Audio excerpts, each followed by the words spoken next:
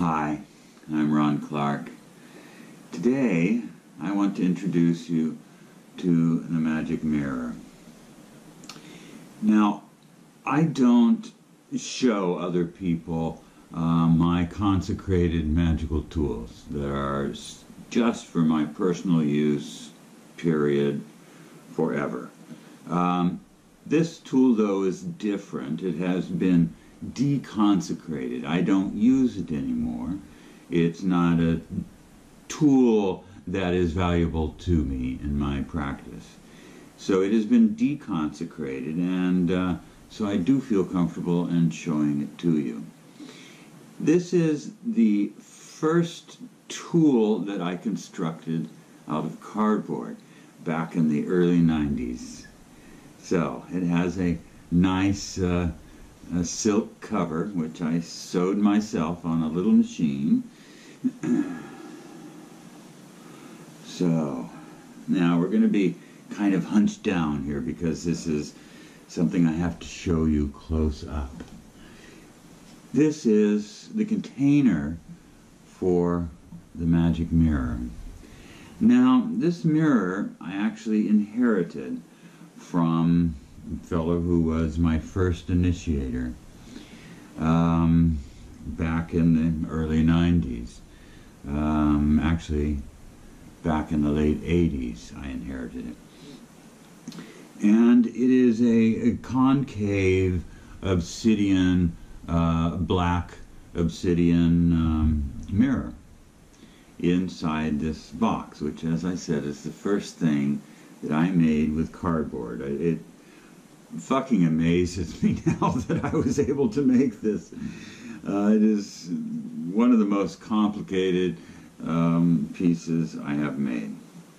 So, the magic mirror itself is, as I said, a concave piece of uh, a round piece of obsidian sit on a, uh, a wooden frame that is at the heart of this. Now, for me, um, being a Bardonist, um, I think of a bla- uh, uh, uh, magic mirror and I think of fluid condensers of one form or another. This is a big, huge fluid condenser, uh, but these are solid fluid condensers fluid condensers and elemental condensers all are in here and I'll show you as we go. First though, uh, let me open, well let me show you sort of a hint of what the, the box looks like. Um, and I'll open it and then I'm going to do a little change with the camera so I can give you an overhead view of it for a little while then I'll be back to this view. So to open this, we start, pull this up, and it has a little bit of uh, felt in here to act as a hinge. And we pull this one up, and this one, and then this one. The sequence is not important here. The only thing is this is the first one to come up this one. Come on. Uh-huh. This one hasn't been opened in quite a while, so it's a little stiff. Uh, these uh, bits of felt have to expand a little bit for it to truly open up and stay. So I'm going to switch camera now and give you an overhead view, which is the primo view. So, this is the magic mirror from the top. And this in here is the concave obsidian mirror. Strewn on the top of the mirror here are some, it's a fluid condenser. These are uh, dust from clear quartz crystals. As I work with them, I generate a certain amount of dust. There is also um, a woven gold and oh, if I can get it out here, a bit of woven gold braided rather, gold, silver, and copper wire. That is, I used to, in the first gate makers that I created were big discs, and they would hang from the wall on um, this braided um, wire of copper, gold, and silver. So, there are also a set of B, a set of pearls around the edge. So these are all fluid condensers, solid fluid condensers. There are also little rounded stones from a creek um, set in around the edge of the mirror. So it has it's supposed to look like a lotus, basically, an open lotus. And it does.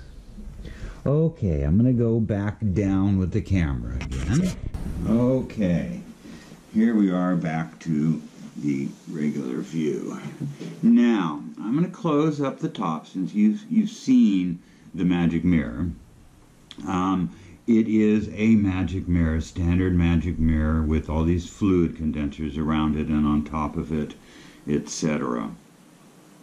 Underneath the mirror itself, there's an old tarot card um, from a feminist tarot. It's a round card, and it is, uh, let's see, it's the Ten of Cups, I think. Um, it's a big feast. Um, so, so we'll close this up. I use this um, like you would any magic mirror, okay? Okay, now we close the top. Now we come to the drawers. These are all drawers. And they hold fluid condensers of, of my type. These are very me. These are in every drawer is my collection of Native American arrowheads that have been gifted to me by various creeks and roads and things like that. This one, for example, came from a, a lane uh, drive out in the country and various crystals. So, and my entire collection of chipped obsidian pieces is in this box. Mm, this was beauty. So these are fluid condensers. Now I, I like using chipped pieces in here because the chipped pieces are all about intention. There's so much intention goes into the actual chipping of these pieces. Many of them are this red chert, which in the area where I live is very common for uh, chipped pieces like this. And little special crystals that I've come to over the years. And the obsidian is just uh, astounding, beautiful. Um,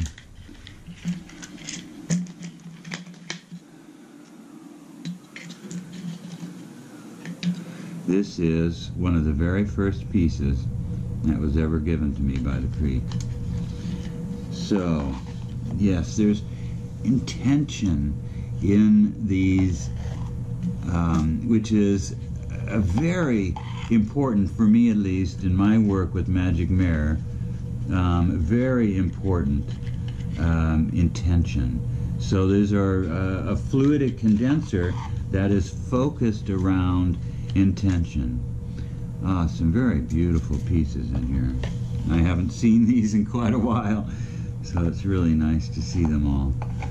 Ah, the obsidian is just, uh, I really love obsidian.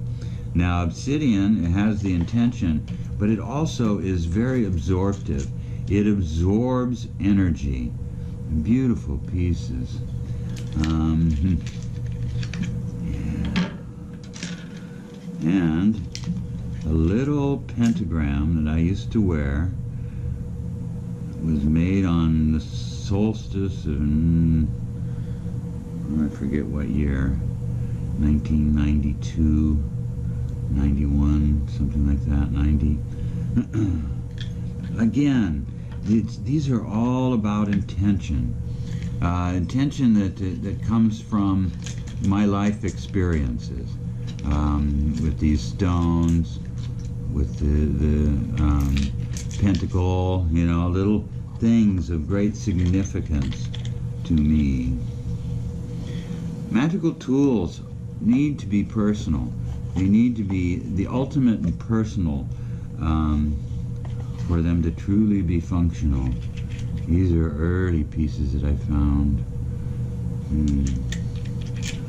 Really significant.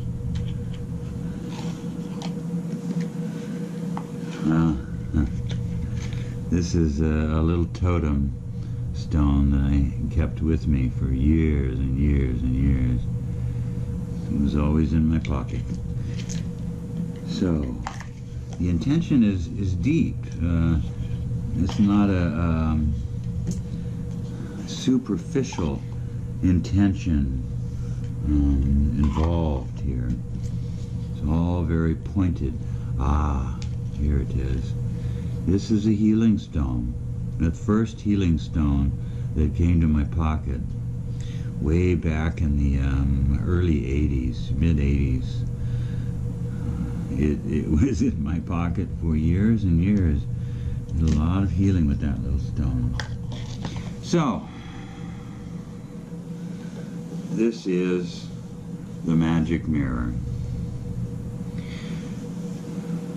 A pretty tool.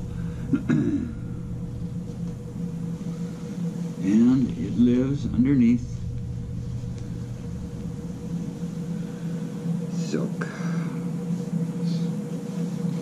Now use silk to cover uh, magical tools, especially consecrated magical tools, because it, it acts as an insulation.